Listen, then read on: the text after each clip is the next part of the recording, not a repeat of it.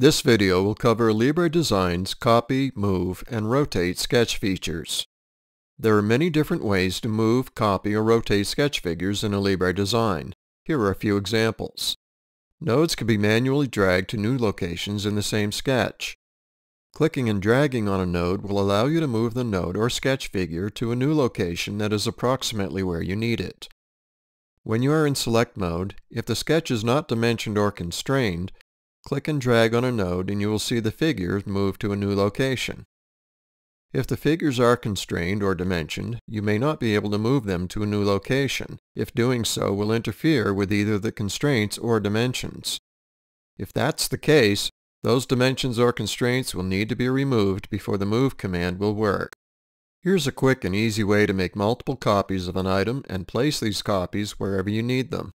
While in select mode, Right-click on a sketch item you wish to make a copy of and select Copy from the pop-up menu with the left mouse button. Now right-click once again anywhere in your workspace, but this time select Paste Stamper from the pop-up menu. You should see a copy of the item you selected hovering near the mouse cursor. Now simply left-click wherever you wish to place a copy. To end the Paste Stamper process, Press the right mouse button once again to return to select mode. By the way, now would be a good time to take a look at the commands available on the pop-up mouse menu. Many of the commands you will frequently need are only a mouse click away on this menu. To move and or copy multiple items simultaneously in the same sketch, from the Sketch Tools box on the 2D ribbon bar, while in sketch mode, Select Move, located here, then select the figures you want to move. Selections can be made in different ways. The first way is to select multiple items at once, and the other way is to select individual items to form a group of items. These methods can be used independently of each other or in combination with each other. In both cases, when the figures are selected, they will change color so you can see which items are selected. To select multiple items simultaneously, window around the figures, click and drag the mouse from one corner of the design to the opposite corner of the design. When creating this window, if you click from left to right, only the figures that are located entirely within the window will be selected. If an item is only partially within the windowing area, it will not be selected. If you have figures selected that you do not need, hold the Shift key down and select the figures. This will remove only the ones you don't wish to be in the group and will keep the rest of them selected.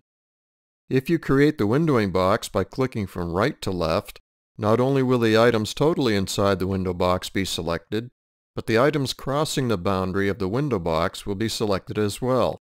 Some people refer to this right to left method as creating a crossing box, because items crossing the edges of the selection window are included in the selection set.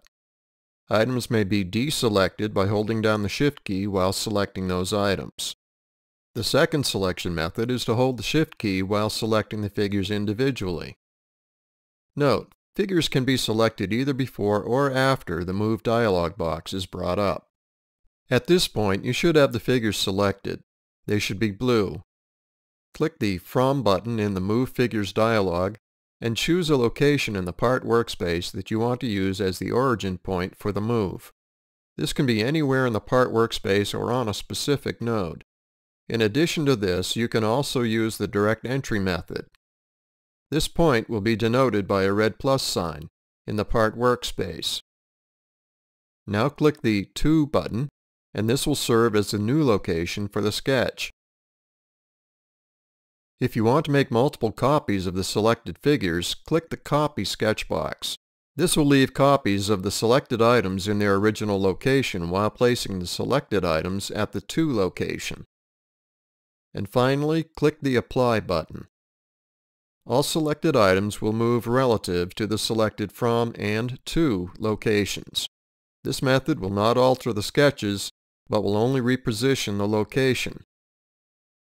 The small dark button in the lower right of the Move Figures dialog is the Direct Coordinate Entry button, which provides a means of entering from and to coordinates on your keyboard. To use this feature, whenever you need to indicate the from or to point, instead of clicking on a location point with the mouse, click on this button instead to bring up the direct entry dialog. To input your coordinates, you can choose between Cartesian or polar coordinates, and with either of these coordinate systems, you can choose between absolute or relative coordinates.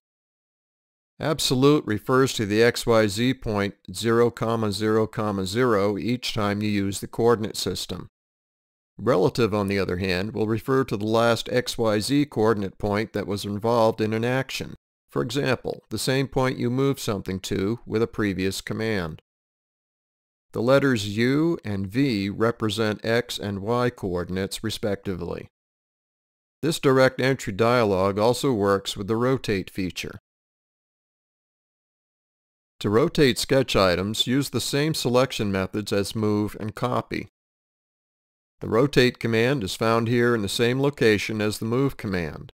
If the rotate button is not already visible, click on the small down arrow next to move and click on rotate to bring up the rotate dialog box. After selecting the items, click the center button and select the pivot point, the center of rotation. Enter the degrees of rotation here.